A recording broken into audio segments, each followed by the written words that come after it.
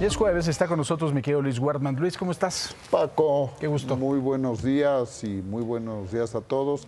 Y ante todo, Paco, expresar nuestro apoyo y solidaridad a todos los guerrerenses luego de estos terribles daños ocasionados por el huracán Otis.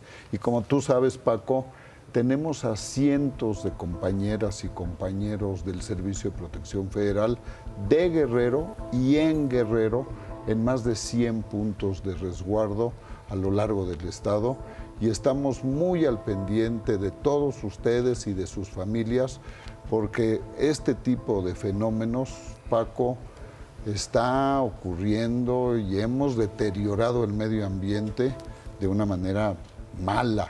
Entonces tenemos que tomar acción como sociedad, Paco.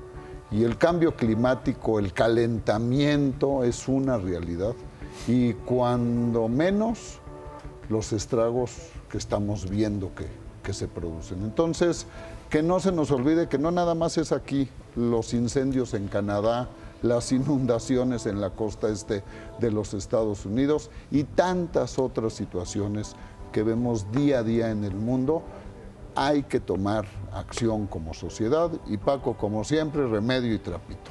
Cuatro acciones para tomar hoy, el día de hoy, porque no tenemos ya tiempo que perder.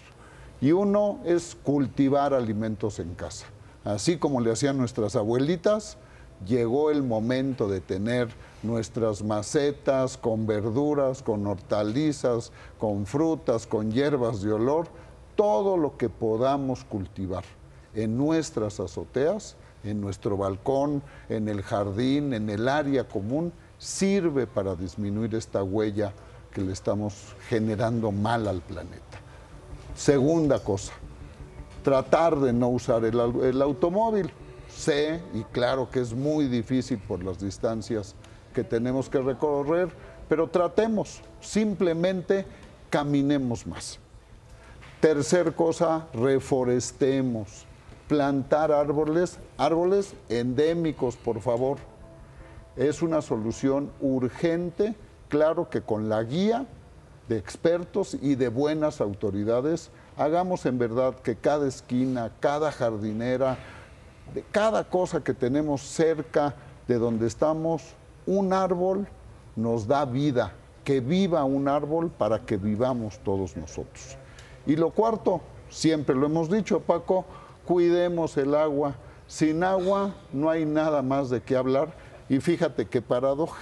Lo que pasa, ahora sí que necesitamos el agua y lo que la naturaleza nos está diciendo. Entonces el planeta y la naturaleza nos mandan mensajes muy fuertes, muy dolorosos, para que entendamos que somos huéspedes, que no somos los dueños.